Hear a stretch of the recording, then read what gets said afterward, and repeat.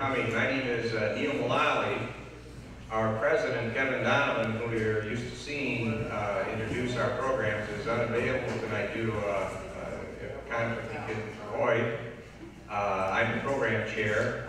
Uh, we do have our board here, and uh, let's just give a quick acknowledgement to the Muskegon County Irish American Society Board. Will you please stand or wave your hands? Good, thanks. Thank you.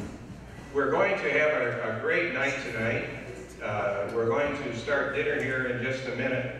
Just a couple of practical uh, considerations.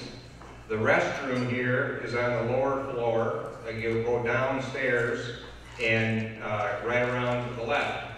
If you need to use an elevator, the elevator is through here. Just go down one floor and it'll take you over to where the restroom.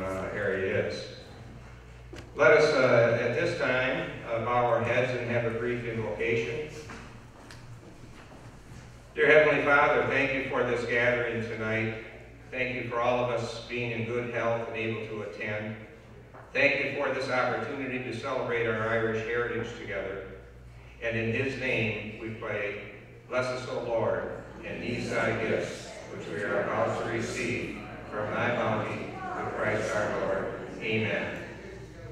So, we're going to go through a buffet over here uh, that's against that wall. We'll, uh, we'll start here at this table. We'll go to this table, and then we'll just work our way across. Um, there is a, a raffle, by the way, going on. I don't know if uh, you had an opportunity. Joe Doyle, if you'd show us uh, the raffle. Okay, the raffle tickets. You know, we rely on the raffle and so on. So we got a good deal. The tickets are either three for five dollars or three for five dollars. Okay, all right. Okay, thank you. So with that, we'll go ahead and uh, begin dinner. Thank you.